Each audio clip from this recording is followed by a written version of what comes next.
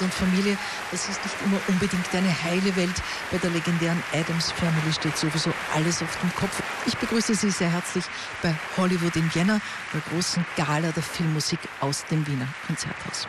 Tales of Mystery, das Geheimnisvolle, das Magische, das Bedrohliche, das Unheimliche, alles das steht heute hier auf dem Programm. Und wir reisen gleich noch in ein weiteres großes herrschaftliches Anwesen. Eines, in dem in der Nacht, wenn alle weg sind, die Gespenster und die Geister ihr Unwesen treiben. Ein Phantom Manor. Danach lernen wir aber, dass eigentlich menschliche Schwächen noch viel unheimlicher sein können als alle Geister und alle Gespenster zusammen. Zum Beispiel der Wunsch und die Jagd nach ewiger Schönheit und ewiger Jugend, die Meryl Streep und Goldie Hawn in Death Becomes Her, der Tod steht ihr gut, zu wirklichen Todesfeindinnen werden lässt. Am Pult von Hollywood in Vienna 2015 der amerikanische Dirigent Keith Lockhart. Er ist Dirigent eines der BBC-Orchester und er hat mir vorher gesagt, dass er als junger Mann ein Jahr in Wien Musik studiert hat und sich daher unglaublich freut, heuer Hollywood in Vienna 2015 hier zu leiten. Viel Vergnügen.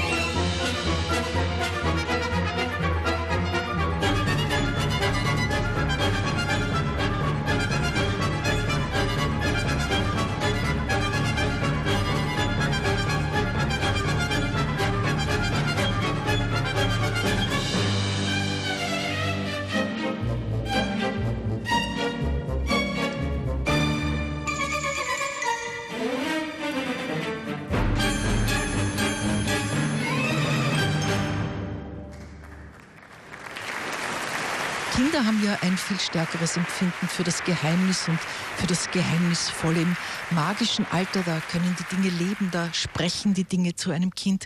Da kann ein erfundener Freund oder ein sprechender Teddybär wirklich ein Teil der kindlichen Realität sein. Zwei der magischsten Bücher überhaupt sind ganz sicher Alice im Wunderland und Alice hinter den Spiegeln. Tim Burton hat sie 2010 verfilmt und Johnny Depp war einer der vielen Stars, die gerne mitgemacht haben. Viele auch nur als Sprecher für die vielen skurrilen Kreaturen, die diesen Film bevölkern. Davor begegnen wir Poltergeist und It S. S von Steven Spielberg, das sind im Grunde unsere eigenen Ängste, die uns überfallen, wieder loslassen, aber immer wieder kehren. Die Musik zu diesem Film hat Richard Bellis geschrieben, der heute auch hier im Publikum ist. Und wir begrüßen auch den Kinderchor Superrar, die neuen Wiener Stimmen und den Kinderchorsolisten Emilio.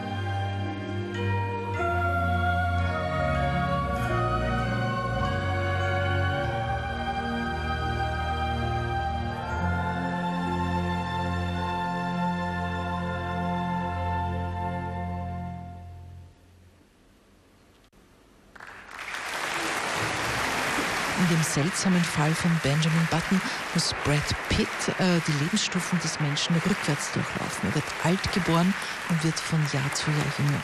Der Film, um den es sich jetzt handelt, war ein unglaublich erfolgreiches Buch und wurde ein ebenso erfolgreicher Film. Und ein ganz besonderes Thema aus diesem Film, das Parfum, singt für uns jetzt Opernstar Daniela Falli. Daniela, den Soundtrack zu diesem Film haben die Berliner Philharmoniker und der Sir Simon Rattle eingespielt. Ist das so komplex orchestriert und komponiert? Es ist natürlich immer so, jede Musik, die von einem derart hochkarätigen Orchester gespielt wird, ähm, gewinnt dadurch. Äh, ich finde, ich finde die, die Instrumentation wirklich sehr träumerisch und sehr, sehr schön. Und unser Radiosinfonieorchester in Wien kann das wahrscheinlich auf genau demselben Niveau und ich freue mich riesig. Es macht wirklich große Freude. Es macht große Freude, sagst du noch, das ist schön. Es ist nämlich, es klingt unfassbar kompliziert. Es ist alles so hoch und exponiert. Man muss die Stimme ganz schlank führen und man muss wirklich eine Meisterin seiner Stimme sein, um das zu singen, was du jetzt gleich singst. Ja, das ist wieder eines dieser Stücke, wo man beim ersten Mal hinhören sich denkt, ach ja, nette Melodie, das ist schon kein Problem. Und dann, wenn man es wirklich länger arbeitet, merkt man schon, wie haarig das ist, auch von der Intonation her. Ähm, ich würde es fast mit einem Mozart vergleichen, würde ich wirklich wagen. Also man braucht ganz, ganz exakte Tongebung im Idealfall. Daniela, erinnerst du dich noch, wann du das allererste Mal in deinem Leben im Kino warst? Ja, das war bei uns im Nachbarort in Berndorf. Da hatten wir ein Kino noch mit Zigaretten die erlaubt waren. Da konnte man auch essen und trinken, aber da bekam man richtig Hauptspeisen, also so richtig Würstel mit Salat und was weiß ich was. Also das war richtig. Und da war ich zum ersten Mal. Und da hat es mich dann schon gepackt, obwohl ich es äh, scheußlich fand, dass es so stank. Aber ansonsten war es. aber scheinbar trotzdem das Essen und die Zigaretten mehr fasziniert als der Film, oder? Na, ich war davon abgelenkt. Eigentlich hat es mich gestört und ich war dann sehr, sehr glücklich, als das alles verboten wurde. Wobei bei uns in Bernhof sehr, sehr lange war das erlaubt. Wirklich, ich glaube, das war eines der letzten Kinos, jetzt gibt es leider gar nicht mehr, äh, wo das eben noch gestattet war. Und sag mir, nach was riecht Daniela Falli heute? Shiseido Zen. Dann wünsche ich dir alles Gute für deinen Auftritt. Ja, ich muss eh schon laufen, weil sonst komme ich zu spät. Das wollen wir ja nicht. Danke. Danke dir. Danke, Daniela.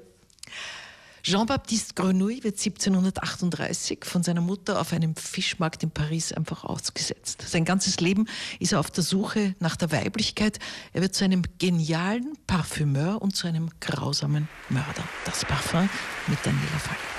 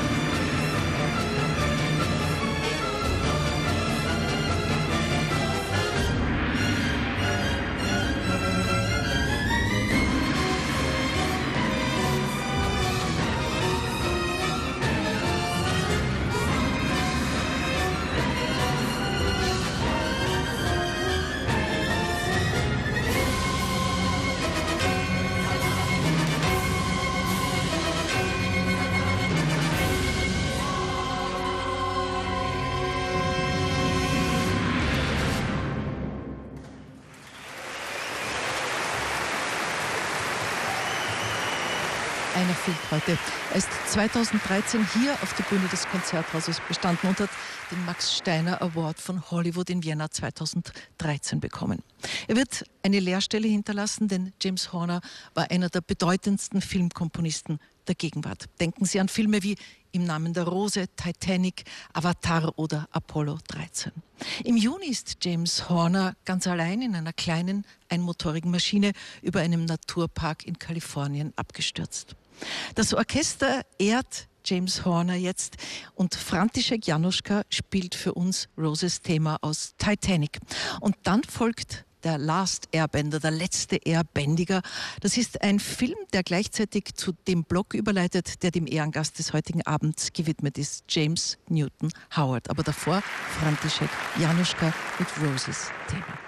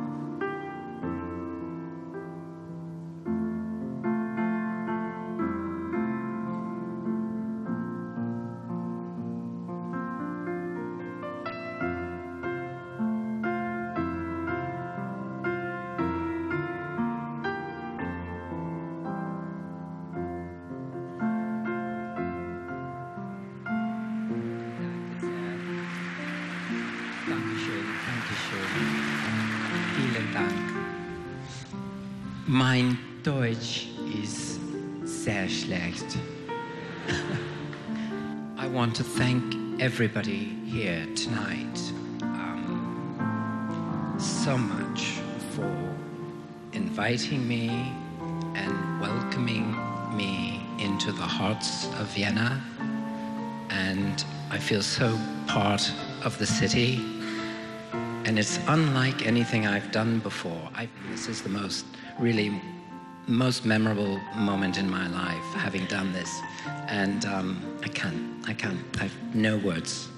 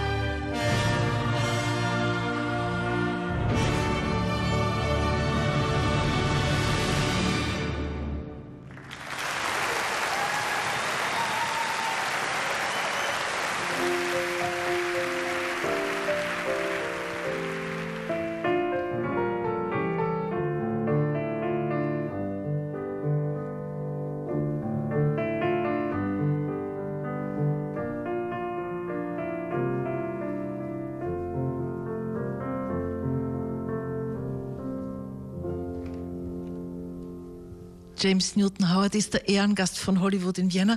Er bekommt den Max Steiner Award 2015. Herzliche Gratulation. Was macht denn eigentlich gute Filmmusik zu exzellenter Filmmusik? Well, I think what makes a classical movie score is first of all a great theme. I think that people, when they leave a theater, it's it's great if they're hu actually humming the theme when they when they finish seeing the movie. Um, the music should support the movie. It shouldn't dominate the movie. It should help tell the story. It should help with the pacing and uh, all the sort of subtext of the story. It has to do many things at once. Gute Filmmusik muss vieles auf einmal können. Er sagt, das Wichtigste ist eigentlich ein Thema. Wenn man aus dem Kino geht, muss man dieses Thema summen können. Äh, sie muss äh, die Geschichte unterstützen, sie muss auch verschiedene Subtexte erzählen und sie soll auf keinen Fall den Film dominieren. Sie haben, ich glaube, an die 120 Soundtracks geschrieben für sehr viele berühmte Filme. Wir werden jetzt auch gleich dann ein Medley hören. Gibt es da einen persönlichen Liebling? Is there any personal favorite among them? You know, I was surprised by some of the choices they made for the program tonight, but I think they were great choices. Uh, I, I think you know one of my favorites was Blood Diamond, which is something that I, I wouldn't have included on the on the uh, show because I didn't realize it could be performed so well, which is what they've done. Um, I'm quite fond of Maleficent. Uh, that was something that I worked on for about a year and a half. But um, generally speaking, if you ask me what I love the most, it's kind of what I did most recently. Das, was er gerade als letztes komponiert hat, ist ihm am liebsten. Also Maleficent ist ganz nah seinem Herzen. Das Medley, das wir gleich hören werden, äh, hat James Newton Howard gesagt, die Auswahl hat ihn ein bisschen überrascht. Auch, dass wir Blood Diamond, die Musik zu Blood Diamond hören werden das ist aber sehr stark und er hat gesagt, er hätte nicht erwartet, dass das so gut aufgeführt und so gut gespielt werden würde. Äh, James Newton Howard, Sie haben eigentlich eine klassische Ausbildung, Sie arbeiten aber für viele Studios, Sie haben für Elton John, für Diana Ross, für äh, Barbara Streisand, für so viele große Stars geschrieben. Wie ist es, wenn Sie jetzt im Konzerthaus sitzen in Wien und in diesem Haus, in dem so viele Werke uraufgeführt worden sind, Johannes Brahms ist hier gesessen, Ihre Werke hören? Uh, it's extremely humbling to be here. I mean, I'm looking at the wall here, and there's a there's a signature from Bruckner and Leonard Bernstein. And um, for a film composer, we're usually by ourselves in the studio, you know, and we and we just hear all of our, all of our music coming through speakers. So it's very rare that we hear it live in a concert hall, and it's been just been an overwhelmingly wonderful and humbling experience for me. Eine sehr bescheidene Antwort, weil er sagt, das ist eine eigentlich beschämende, eine, eine Ehrung, die, die für ihn sehr groß ist. An der Wand sieht man die äh, Unterschriften, die Schriftzüge von Bruckner und Leonard Bernstein hat hier gearbeitet und hat hier dirigiert. Und eine große Freude und eine große Ehre und ein großes Vergnügen. Dann vielen Dank. Thanks for being with us. Und wir freuen uns auf das James Newton Howard Medley.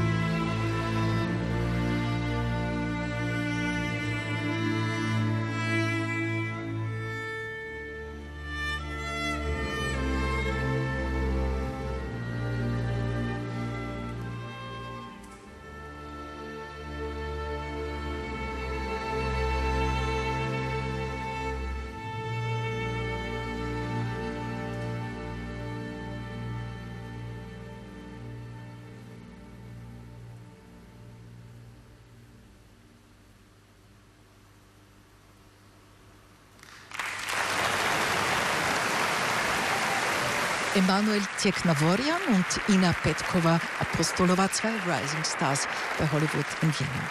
Diese Gala bedeutet natürlich immer großes Symphonieorchester, großer technischer Aufwand. Sie sehen das, was alles hinter den Kulissen da notwendig ist und es kommt auch immer eine ganze Reihe von internationalen Musikern und Sängern und da können Sie sich jetzt auf einige Gäste freuen. James Newton Howard hat die Musik geschrieben für Angelina Jolie als Maleficent, als die dunkle Fee aus den Walt Disney Studios. Er hat auch die Musik geschrieben für Julia Roberts als Pretty Woman, indem sie an der Seite von Richard Gere eine ganz erstaunliche Wandlung durchgemacht hat und auch ihren internationalen Durchbruch gefeiert hat. Und auch Barbara Streisand hat sich diesen erfahrenen Filmkomponisten geholt für Herr der Gezeiten. Das war der Film, in dem sie gespielt und Regie geführt hat. Psychiaterin verliebt sich in Patient. Patient kann dadurch seine Ehe retten. Psychiaterin bleibt allein und mit leicht gebrochenem Herzen zurück. Und dazu wird wunderschön gesungen. Hollywood Herzschmerz. Was willst du mehr?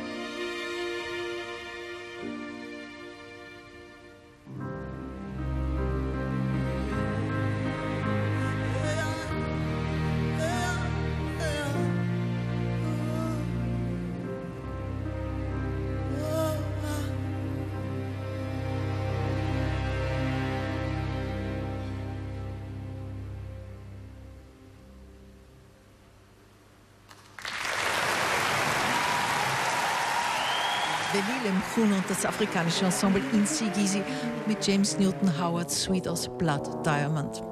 Er hat übrigens auch die Musik komponiert für einen der ganz großen Kinoerfolge der jüngsten Zeit, die Tribute von Panem, ein amerikanischer Mehrteiler, der in einer düsteren Zukunft Menschen gegeneinander ums Überleben kämpfen lässt. Wir hören jetzt die junge Schauspielerin und Sängerin Edita Malovcit mit The Hanging Tree, das Lied vom Henkersbaum, ein Song, der wochenlang in allen Charts war. Are you, are you coming to the tree? They strung up a man, they set him murder three. Strange things that happen here, no stranger would it be if we met at midnight in the hanging tree. Are you, are you coming to the tree where dead men called out? For his love to flee. Strange things that happen here, no stranger would it be if we met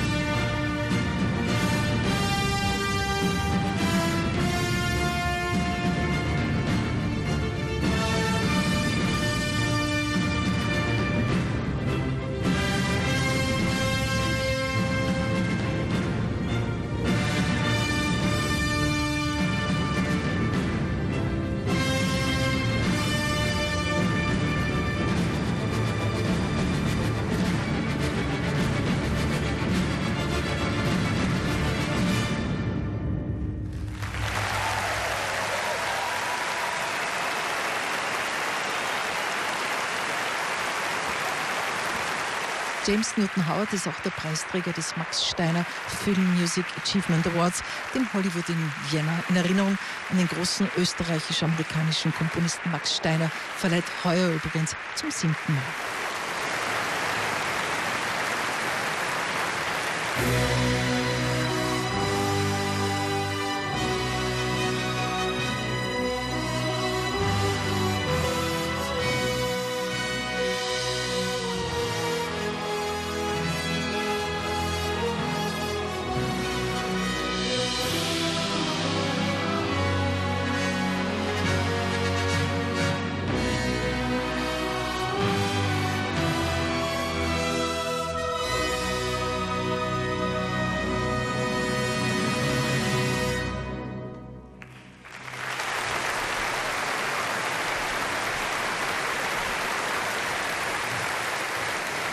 Dear James, it was a true delight to bring your music to life for tonight's celebration in the Vienna Concert Hall.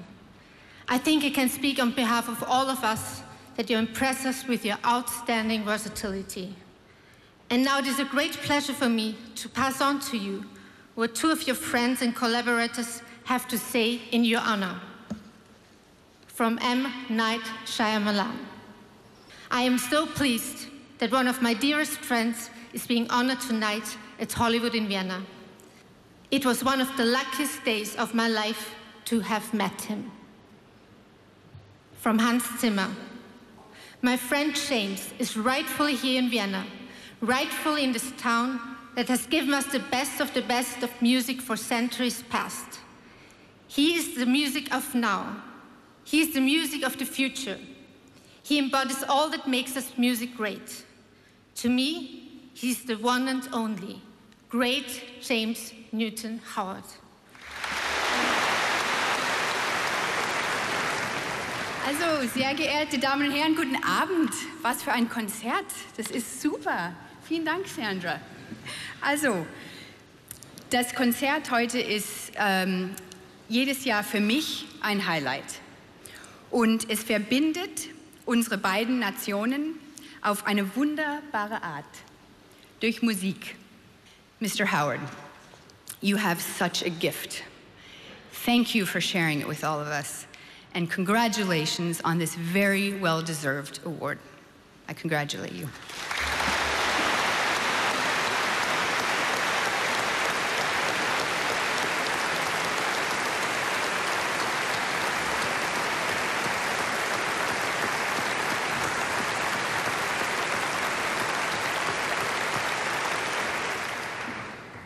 Exzellenz, liebes ORF Radio Symphonieorchester Wien, Maestro, sehr geehrte Damen und Herren, music is in the DNA of Vienna, and music is also in the DNA of filmmaking. And that is why there are so many links and so many connections between Vienna and Hollywood. So, it's a great honor and pleasure for me to announce that the 2015 Max Steiner Film Music Achievement Award goes to James Newton Howard. Congratulations.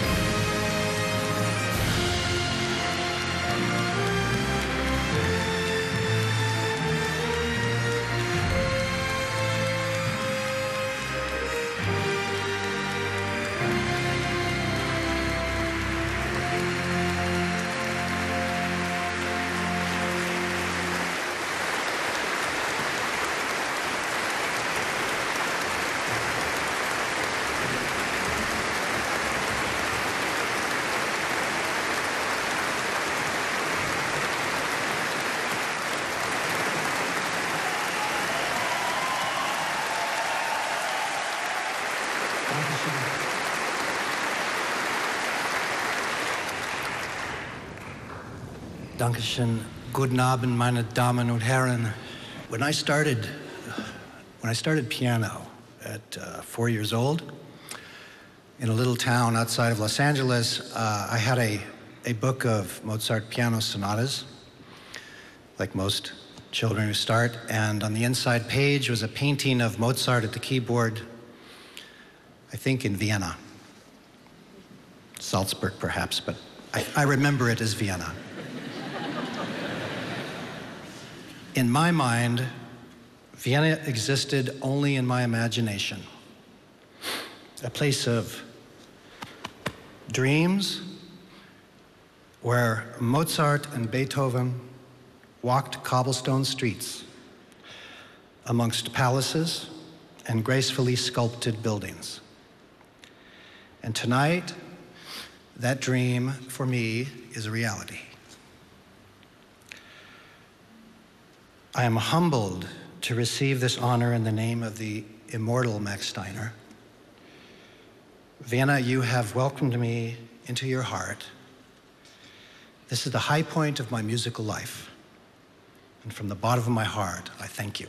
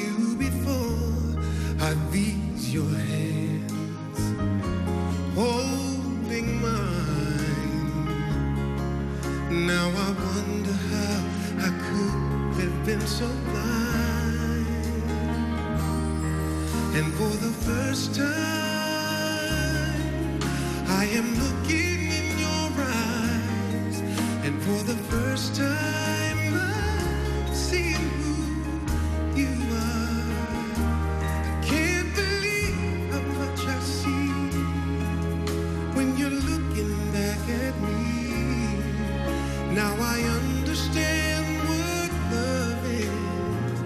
Love is for the first time. Can this be real? Can this be true? Am I the person I was this morning? And are you the same?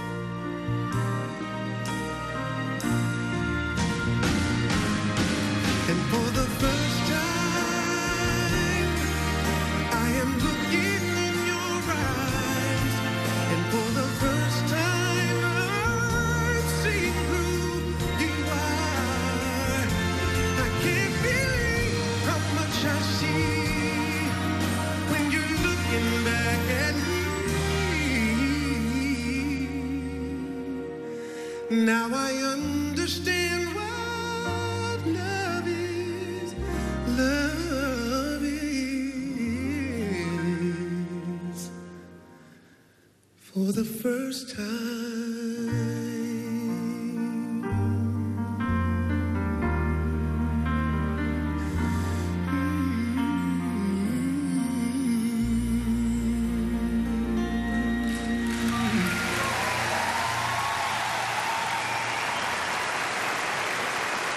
Und Applaus für das Radiosymphonieorchester Wien unter Keith Loggart hier bei Hollywood in Vienna. Es geht im Wiener Konzerthaus im Februar weiter mit Filmmusik. Christian Kolonowitz wird John Williams, den großen amerikanischen Filmkomponisten, ehren und Hollywood hat heute hier Wien musikalisch getroffen.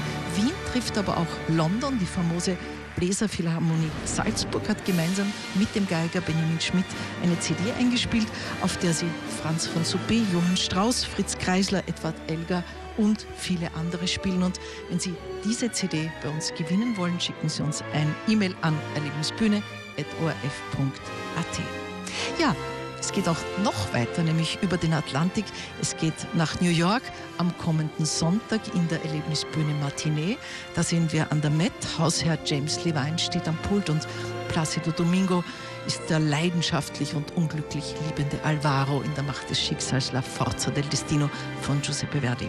OF3, Erlebnisbühne Matinee am Sonntag, den 1. November, 9.05 Uhr. Ich hoffe, bis dann.